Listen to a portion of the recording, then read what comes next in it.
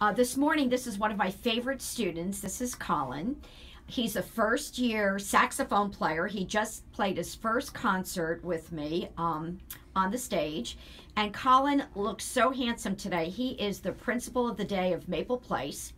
And as he's making his rounds in the building, he decided to come down and pay me, Mrs. Ruggeri, a visit. And Colin and I are just talking about, we're reminiscing about the concert. And Colin knows that I'm going to be retiring. So this was interesting because this is our first and last concert together, right? Yeah.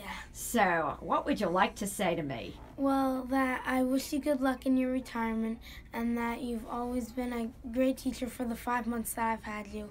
And I wish that I could spend four more years with you in charge of band and stuff, like all those older eighth grade and seventh grade kids.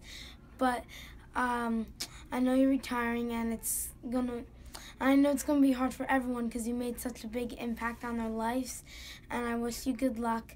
And um,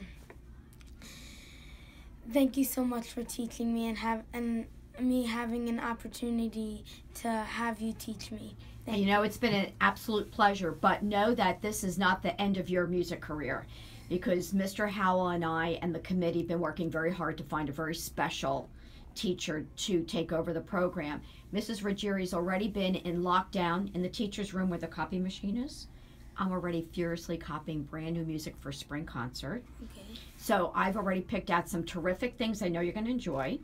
And I think with your hard work and dedication, you are going to have a fabulous second half of the year.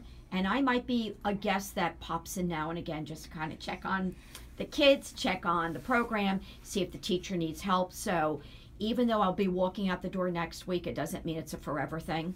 Because you'll see my face coming right back through the door now and then just to help out.